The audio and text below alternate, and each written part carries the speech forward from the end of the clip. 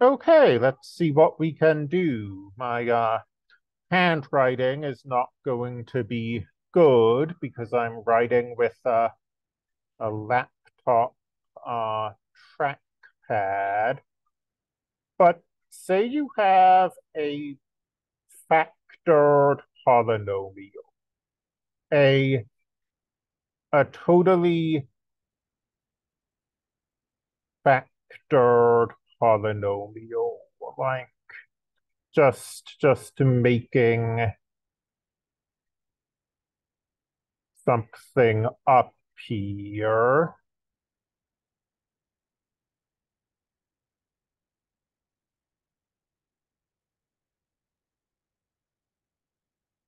What's the leading term of this polynomial going to be? It's going to be this number up front. And then we'll count how many x's we have. So we have three x's. So, I mean, this number may be here. Let me change this change this polynomial so we don't have three appearing twice. Let's add another term. So now we have this three up here, and we have four x's.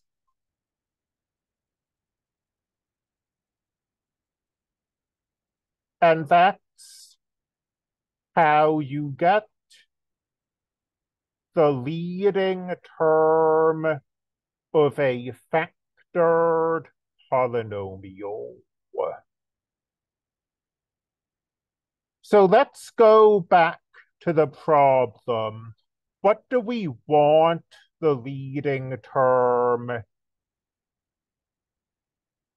to be? We want the leading term to be negative 2x cubed. So following this pattern, we're going to want a negative 2 in front, just like this 3 gave us 3x to the fourth we'll need a negative 2 to get this negative 2x cubed. And then if we want an x cubed, we're going to need three x terms. So right? This x to the fourth came from having four x terms. So if we want an x cubed, we're going to need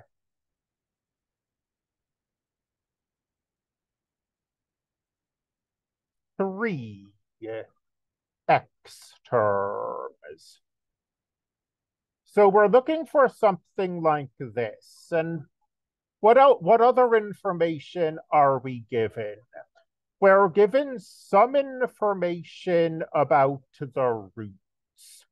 We're told that zero is a root and that it has multiplicity two. Let's uh, jot that down. Zero is a root and it has multiplicity two.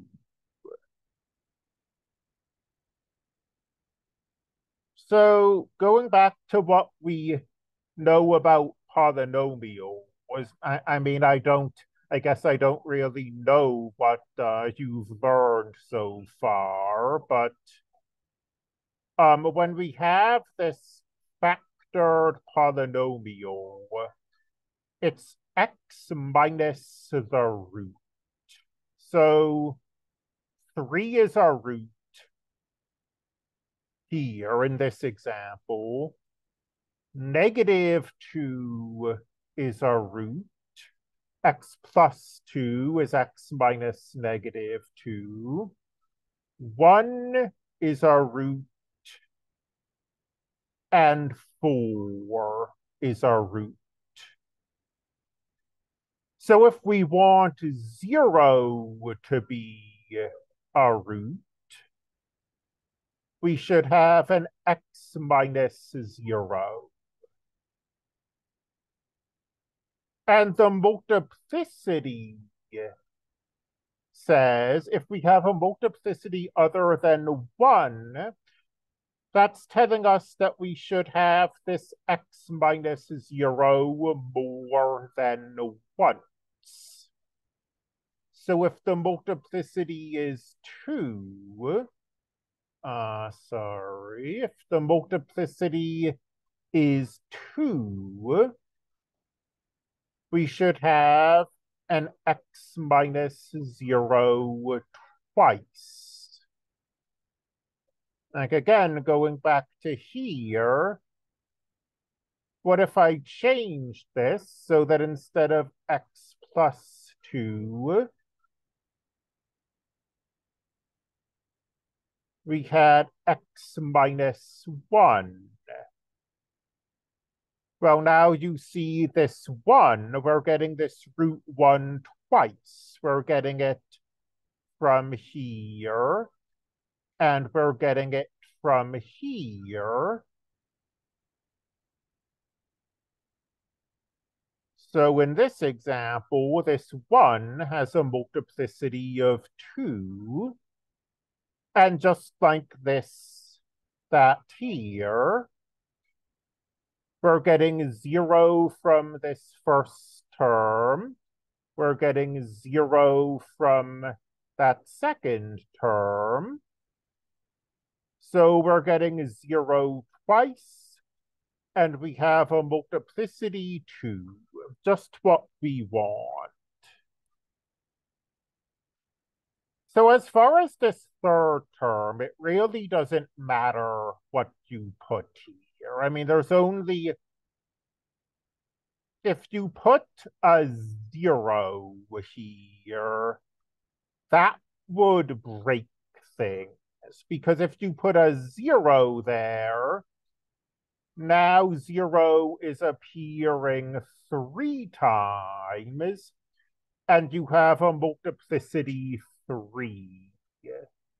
But if you put anything else there? Like, what if four there?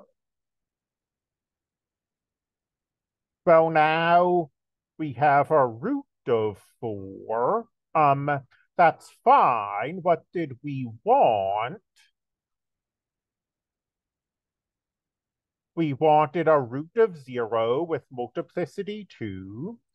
We wanted a leading term of negative 2x cubed.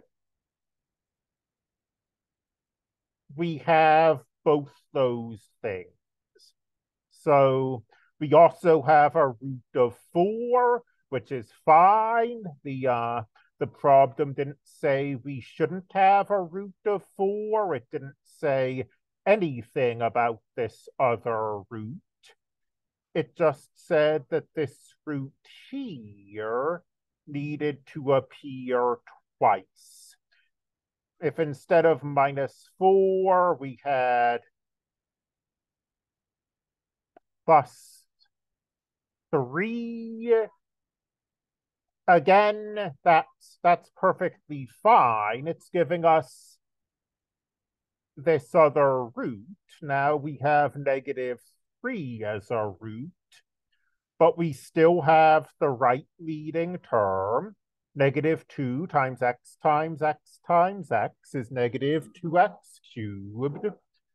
And we still have this root to zero appearing twice to give us this multiplicity.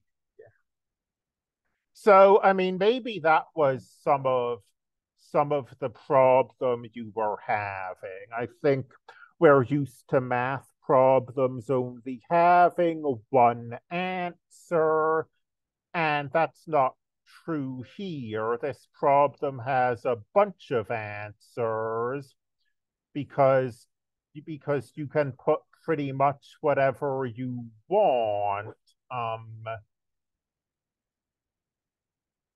in place of okay, well, my uh, my whiteboard has stopped working, but you can put pretty much whatever you want in place of this plus three, as long as you have these terms. Um, if if you have any other questions, I'm just I I mean I can't always promise to get back to you on the same day, but I'm happy to to do this. Just uh, shoot me another email like you did this one.